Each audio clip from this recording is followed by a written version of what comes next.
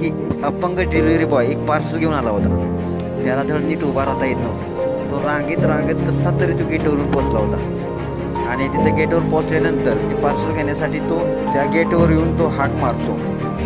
तेवढ्यात एक मुलगी ती पार्सल घेण्यासाठी बाहेर येते.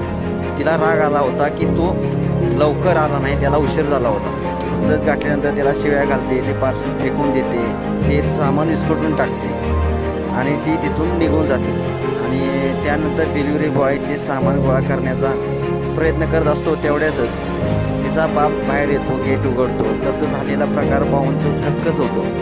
आणि त्या अपंग व्यक्तीला विचारतो की काय नेमकं झालं? अपंग व्यक्तीनं त्या मुलीनं केलेली वर्तणूक सांगितल्यानंतर बापाचा पारा चढला आणि बापानं तिला बाहेर बोलून घेतलं. आणि तिला विचारलं तू असं का केलं? आणि बापाला सुद्धा ती उत्तर उत्तर देऊ लागली. मग बापानं त्या अपंग व्यक्तीसमोरच डिलिव्हरी बॉय समोरच तिच्या जोरात कानशिलात लावून दिली. असे संस्कार आम्ही तुझ्यावर घडवले आहेत का? अपंग व्यक्तीशी कसं वागायचं हे तुला समजत नाही का?